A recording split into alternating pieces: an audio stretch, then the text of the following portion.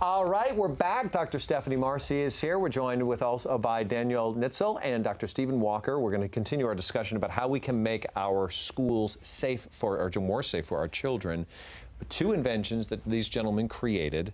Um, I, I want to start with you, Dr. Walker, a little bit about what it is. What is your invention called? Well, we call it the bodyguard blanket. And uh, really, to the doctor's point, we named it a blanket because we didn't want this to be a intimidating thing for a six or a five year old.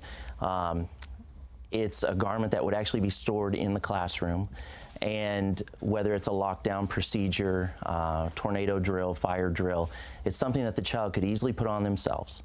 And uh, we purposely made it a very simple design. Mm -hmm. We put backpack straps on it. Again, most children are familiar with a backpack. And um, well, let's take a. We have a video of this. Great. Can we take sure. a look. Let's let's take a peek. Bodyguard Blanket was specifically developed to help protect our children from events that come unexpectedly and with the potential for catastrophic outcomes. Bodyguard blankets are made with the same bullet-resistant materials that shield our soldiers in battle, providing maximum tested protection. Bodyguard's uncomplicated design, protective technology, and lightweight make it the best defense for children of all ages and classroom teachers. Bodyguard Blanket can safeguard your loved ones in moments when time is critical. Every student and teacher in every school should have the protection from tornadoes and school incursions that bodyguard blankets provide. Well. Now, you're talking mainly about the bullets penetrating, it, it, won't penetrate the, the blanket. Right. There's a material in the blanket. It's a bullet resistant material. And it's not going to be able to stop every bullet. Okay. Um, but when we were developing this over a year and we're doing our research, uh, we began to look at all the school shootings since 1990 to today. And we began to realize that about 90% of the weapons used uh, could have been stopped with the material we currently have in there. It's called a National Institute of Justice Level 3A body armor, and there's different levels of body armor. Mm -hmm.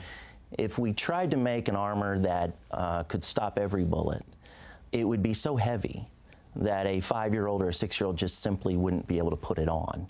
A lot of adults might not be able to put it on. We, we have, have a, a, video of the ballistic yep. tests on this yeah. blanket, so let's right. take a look at that right now. This is a Federal 115 grain full metal jacket nine millimeter round. We're going to do our first shot. Here you can see the deformation into the clay. There was not a penetration. This is just a bending that happens at the back of the armor. And we can measure that depth just using a simple caliper to measure that depth. What we're looking for is the depth to be less than 44 millimeters. These first two here are 17 and 19 millimeters. All the energy is absorbed on the interior of the plate the penetrator is stopped, whatever round it is, 9 millimeter 357, is stopped within the armor. It mushrooms out, and that, that mushroom helps us absorb it before it can penetrate through the plate or the blanket in this case, then protects the body from penetration and uh, severe organ damage. That is it's remarkable. That is remarkable. But that stops the bullet if, it, if heaven forbid it ever would happen. But if we can keep them out of the rooms that our children are in, that would even be a better line of defense. That's where I'm going to come to you, Daniel, on this, was your invention. We had a discussion earlier when we first met today, and you were talking a little bit about the scenarios that have happened mm -hmm. with these shooters as they come into the rooms. Sure. Um, what did you guys learn as you were creating this about each of the scenarios that seemed common? Well, I think you brought up a good point earlier where they're looking for a body count, the shooter is. They want to go out, they want to take as many people uh, with them as possible. So if you can offer any bit of resistance, mm -hmm. um, that, that gives your yourself and most importantly your students more time and more opportunity to live through one of these things. So in our training, we were told um, Training as teachers. Yes, it's active shooter training. Um, okay. what, what was happening was they, they, they worked us through a scenario, what we should do, and be take a more proactive approach where it used to be we would turn the lights off, go under the table, um, and, and, and essentially pray that he didn't come in and, yeah. and yeah. attack us.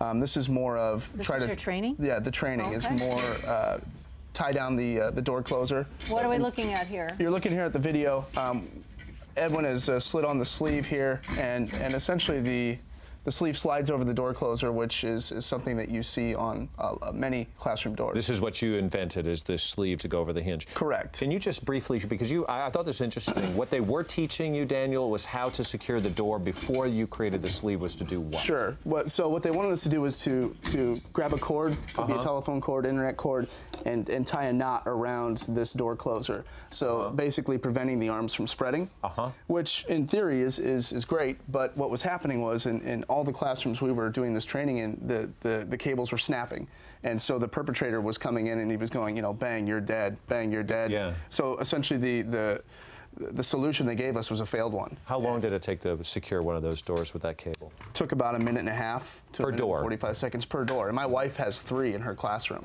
So I just kept thinking there's got to be something that, that we can do that, that makes this fast and is, is more reliable than an internet cable when your life's on the line. And How can you show how that goes on? Yeah, Um, yep. So essentially, you grab the sleeve, get the door closer, and slide it on. And that's it. That's it. And What's that that- door will not open. What's that made saw. out of? That's made out of uh, 12 gauge carbon steel. Um, it, it will hold up to 450 or 550 foot pounds of force. Um, to give you a pers- uh, like an idea on that, when you're loosening that first lug nut on a uh, tire, that's Yeah. about 120 foot pounds of force. So Are this the- can hold up to 550. Are these being used in schools now? Yep, yep. We've, sh- we've shipped them out to schools all across America. Actually, it's it's it's it's happened uh, really fast. Hospitals, uh, Yeah. businesses, um, lots of different you Yeah. know venues we didn't even think about. When you see this, Dr. Marcy, what, uh, you're sitting here smiling, Smiling, and yeah. sort of taking it all in. I just think it's so sad that it's come to this. And I think Yeah. for parents, we can't change the world all at once, but I think taking on some small changes in your community so that you don't feel so helpless. And having things like this where you at least feel you're not sending your child out to school to be shot. It Yeah. used to be such a safe place, and sadly, schools are not anymore. you guys are teaming up now, huh? Well, I was telling Daniel that our company, um, we've only been out a, about a month public, but our, our company's been really impressed with this. And we've had school districts and organizations, daycare centers um, that are very interested in our product. And we feel so good about this that we want to donate a sleeve to every classroom that needs it uh, with our blankets. So if, uh, if someone should happen to buy our blankets, we, we want to be a part of this because in the end, it's, it's, it's about giving them as much protection as quickly as Yeah. possible. Putting on that sleeve allows our kids then to put on the blankets uh, and gives them more time. Yeah. Uh, so it's just a win-win, and I really admire the fact that, you know, we have a teacher that's that's trying to do something as well. I mean, it's comforting as a parent Yeah. that we've got teachers like him. Good stuff. And there's nothing more deserving of all of this attention and our energy and effort and money, whatever it is, than our children in our schools. Can- Thank you guys for being here. Um, Are we going to show how they? Um, uh, oh, yeah, we have the demo. Let me show you just real Yeah. quick because we talked about this. Yeah. This is this is an adult size. That is actually it comes in three sizes. That's a large uh, for people about six foot or taller. Right. Um, And you said it's easy for kids to put. It's like a backpack. It is. Goes It's just like a backpack, and we wanted it to be simple. And they put it on. There's a strap that goes around the waist uh, that helps secure it, and then there's handles on the very top. You'll have to kind of bend down, Bend it. and it'll come. Kind of just bend down a little bit. There you There go. go. And you've got those. And there's So- and there's a position, you know, uh, that most kids would take. There's a tornado drill position. There's a lockdown position. You can see those things on our website. They would be down in a Yeah, in a and they would form in a line, and then you would just see a shield basically of orange. Yeah. Um, and, and so that's how you put it on. Wonderful. excellent. Thank you. All right, uh, so much information to pass along to you. We got to keep this conversation going, and great work, great work. Uh, go to our website if you'd like uh, to get more information. You can go to chla.org. Bodyguardblanket.com is another resource. FightingChanceSolutions.com, and again, as I said, our home and family site, homeandfamilytv.com. All right. Thank you. Very good. Thank you. We're coming back. Matt, you're up again.